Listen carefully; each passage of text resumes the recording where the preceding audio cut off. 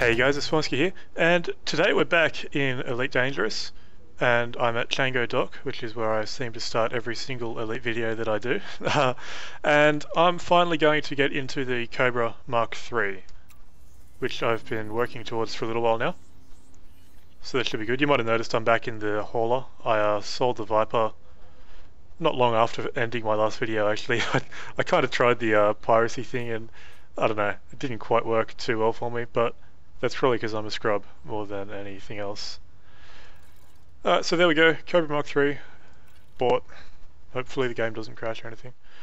I'm actually in uh, beta 1.04, which came out a couple days ago, I think, and that introduced a few bug fixes. Um, a couple of pretty big ones. One of which is that the insurance screen should always display now when you die. There was a bug where sometimes the insurance uh, the insurance screen just would not come up, and so you'd lose basically everything. Uh, never occurred, never happened to me, but happened to plenty of other people. So that one should be fixed now. And the other one is that it should be easier now to um, ooh, fancy. It should be easier now to connect to more, more multiplayer players. My track I just screwed up a little bit there. So you should see more people in the area basically when you're flying around, which does seem to be the case so far. So that's cool. Man, this thing is big. Check it out. How far away? How far around can I turn? My tracker doesn't actually like me moving too far away. It's freezing up a little bit. Let me try and reset that. That might be better. Cool. Yeah, fancy. So this is one of the first, uh, it's the first ship that I've seen that actually has more than just a single seat in the cockpit. That's awesome. Alright, well, let's have a look at what we can do with this thing. So I've actually done a little bit of research before starting this video, if you can believe it. I know, it's shocking. Uh, so it turns out this thing's got a massive jump range, at least compared to what I've been using previously. Something like oh, nearly 10 light years when it's fully loaded. Uh, when it's sorry, that's not wrong. That's not right. Nearly 10 light 10 light years when it's not loaded at all, and about seven and a half when it's fully loaded, I think, which is cool. But the really awesome part, 36 cargo units. That's, I mean, basically once you can get this, you don't need the hauler anymore, put it that way. It can jump further, it can carry more, it's got more weapons, it's better in pretty much every respect. So, yeah. Let's look at the outfitting. So we've got two class 4 hardpoints, two class 2s, and then a couple of utility mounts. There's There seems to be a few problems at the moment, actually let's not do that. There seems to be a few moment, problems uh, equipping stuff at the moment. Let's try a C2 pulse laser. Alright, it's worked that time so that's good. I encountered a few um, problems the other day with just with not being able to um, equip anything basically. So that's awesome. Can I buy C4, like class 4 stuff here? I can. Jesus, 17 grand for a pulse laser. I might leave that. I'll put a class 2 in there if I can.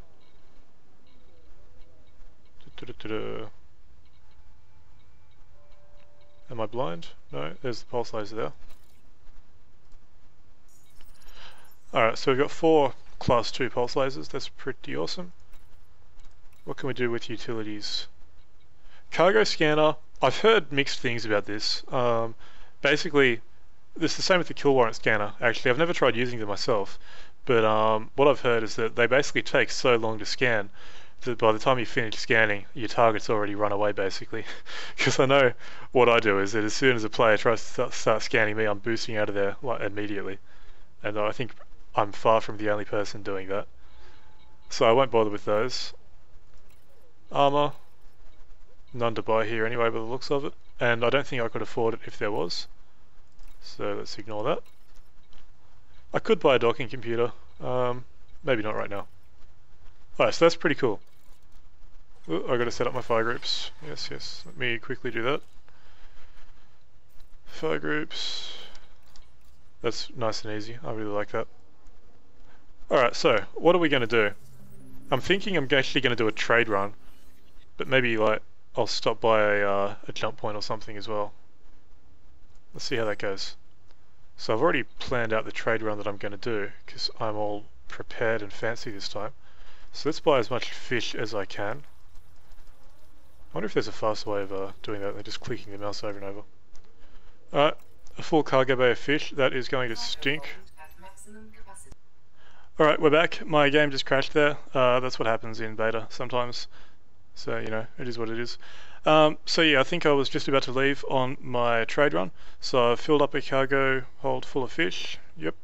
And I'm just going to go to Aulin, which isn't really taking advantage of this thing's um, range, but it'll just be a nice short, uh, a nice short cargo run, and then on the way back, I might actually be able to stop by one of the nav points or something and do some shooting too. So we'll see how it goes. My first time flying this thing. Pretty sure it's a bit bigger than I'm used to, so of course I'm just going to go out the thing as fast as possible. Ah! That's all good. Awesome. Alright. It's nice being in kind of a kind of fast ship again. So it's that basically 400 when boosting. Pretty good, not as fast as the Viper, which was 500 when boosting, but still 400 is nothing to complain about. Oh, track IR again. It's a bit touchy today. Yeah, so it's moving at a decent speed. And that's awesome. I mean, I was in the I was only using the hauler for um, only using the hauler for a few hours, but it's so slow the hauler. I don't know what the uh, Lakon Type Six is going to be like, because that's the next ship after this one, really. I almost have enough money to buy one, actually. I think I was about 30,000 credits away from a Lakon Type 6, so hopefully that video won't be too far away. I don't want to leave it too long because I believe that Beta 2 is coming out this month. I'm not sure when, I'm not sure if it's actually coming out or if that's just a rumour. But if that does come out then it's I suppose it's possible that it will have a server wipe alongside it, which would mean restarting from scratch basically. So I'd rather make the Lakon video before then, if possible. I don't think, if that does happen, I don't think I'll get up to the Type 9, but I mean the Lakon Type 6 is where you start making a lot of money from trading, so you never know. Alright, so we are at Aulin Enterprise, so let's go in there and dock.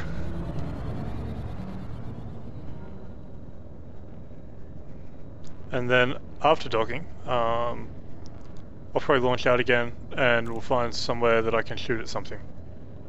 That seems like a good idea. Given that I've got, I bought all these weapons, I might as well use them.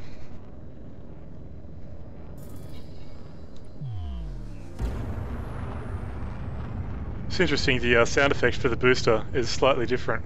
I hadn't noticed that before.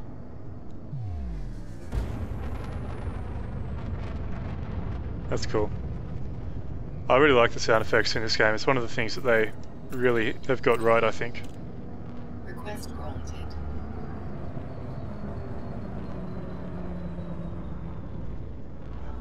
I think I've managed to fly right past the entrance there. Alright, landing pad 43. Let's see how easy it is to park this thing.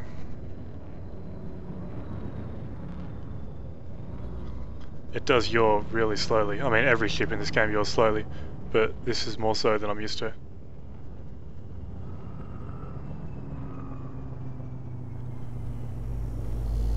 Okay, 43 right down there.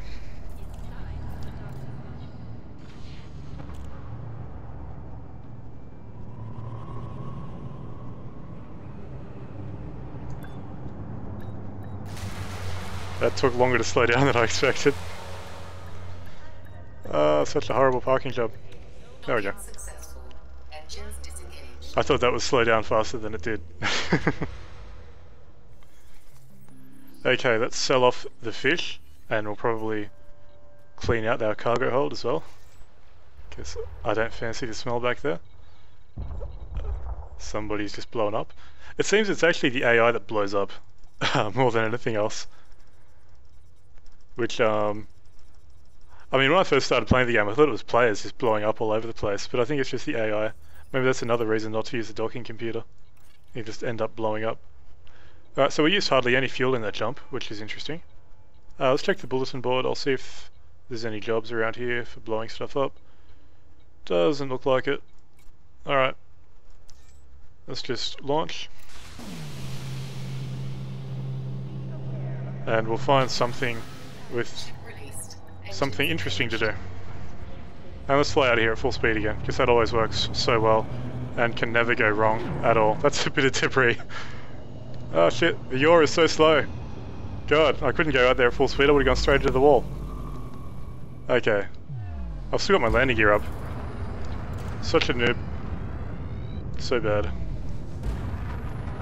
Alright, we'll just boost out of here. I could turn off flight assist, but there's really, like, so that I could go faster. But there's really no need. A couple of boosts is all it takes. Alright, so I'll find a uh, beacon or whatever it is, or something, and I'll see you then. Alright, we're approaching the nav beacon. Hopefully I don't overshoot it. Looks like I'm going to. Because I somehow always manage to do that. Oh, I might slow it down enough in time. Wait, no, no, it's gone. Yeah. I guess I just have the throttle pushed it forwards a tiny bit too much. Doesn't matter, only cost me a few seconds. Alright, so we'll drop out any second now. Just got to get a little bit closer. There we go. And let's find something interesting to shoot at in here. Hopefully without getting shot at ourselves too much. Let's see, anything on the contacts? Only the nav beacon.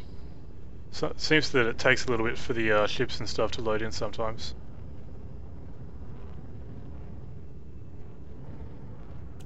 Speaking of loading in, Type 9 Heavy. wonder if he's going to have a bounty on him. Scanning him. Let's see. No, he's clean. Uh, let's find something else. How about this Viper? Where is it even? It's all the way back here.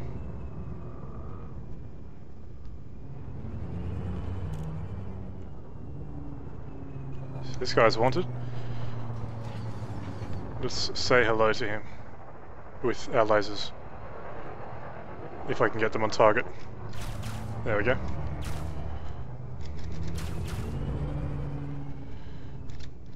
Do a barrel roll. Man, he's so much faster than me. I put all power to the weapons. Odds are he's going to come back and try to do a pass at my face and my lasers are already out of juice. Still, he's not actually coming at me yet. He might be trying to um, charge up his jump drive, frame shift, whatever you want to call it.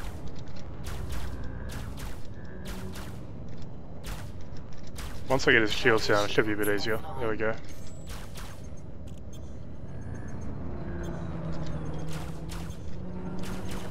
I just keep putting fire on him I think he's out of range, yeah he is. I wouldn't be surprised if he jumps out, he's just a bit far away from me at the moment. Put up out of the engines, and we'll see if I can catch up.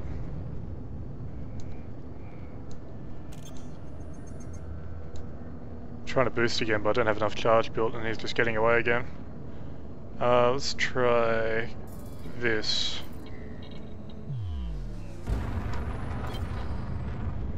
Now I can maintain my top boosting speed, but I can barely control the ship. and he's starting to loop around by the looks of it, so I probably want to turn this back off.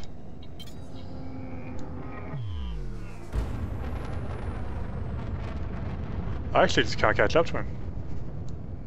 His shields are almost back up too. Well that sucks. I would have expected him to have jumped out, to have, yeah, jumped out by now to be honest.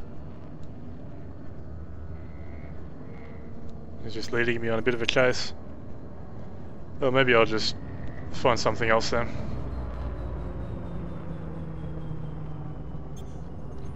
Because that kind of sucks to be honest. What's this over here?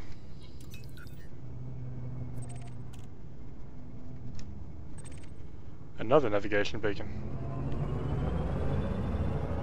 I guess if you travel far enough, it gives you a different nav beacon or something. It's a bit weird. Hmm. Alright, let's try and find some other ships then.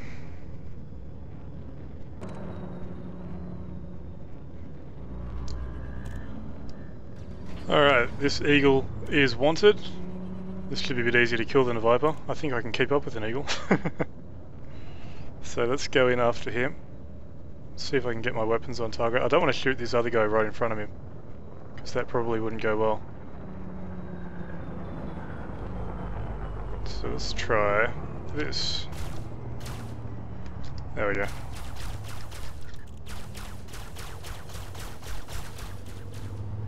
I mean, remember I'm only using class 2 weapons as well. I mean, this thing can use class 4 weapons, I just didn't have the money to fully kit it up.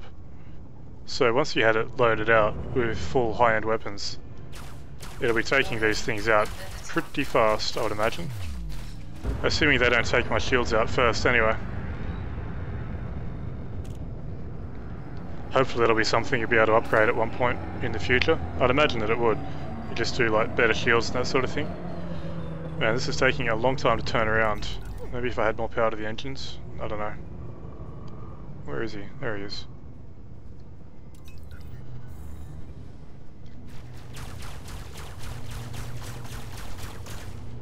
Straight in at my face, as the AI in this game loves to do. Alright, let's try something a bit different. I'm actually going to go into reverse. Problem is it takes so long to turn around. Alright, there we go, finally turned around.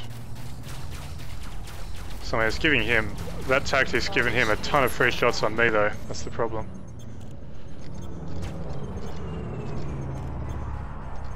So now I'm going back into normal thrust. He's taken half damage. I haven't taken any, although my shield is badly depleted. Let me transfer power to my uh, weapons. Something else is scanning me apparently.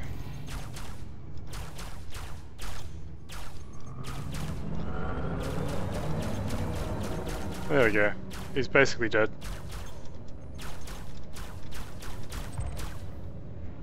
Did he die or did he jump out? Did I get a bounty thing?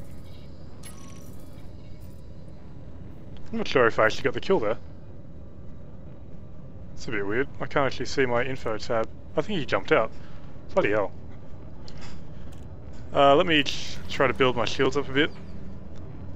So it's it's interesting flying this thing in combat. I think I was um I think I was expecting it to be a bit more maneuverable than it is. What's scanning me? Uh, I think I was probably expecting it to fly a little bit like the a little bit like the Viper did, but it's it's a lot slower to maneuver than the Viper was. So we got another eagle here. Is this one wanted? No, this one's clean. See, there's something you'll have to take into consideration. It's a, I guess it's a big, heavy ship. It kind of wallows about a little bit, but at the same time, it's uh, it's got all that cargo capacity, which makes it perfect for a bit of, like, basically doing a, the best of both worlds, I guess. You get the combat capability, and you can also, you know, jump around and trade better than you can in a hauler. So that's pretty cool. So I think I'll leave this here actually. Um, we've seen a bit of combat, we've seen a bit of trading. Like I was saying, the ship can do both really well. Uh, um, if you're 100% focused on trading, then it might be a better idea to just save up a bit longer and get the Lakon Type 6. Because I mean that costs, what was it, 50, 60,000 credits more? Now, at, by the time I was buying this, I was making about 10 to 15,000 credits uh, with the hauler in a round trip.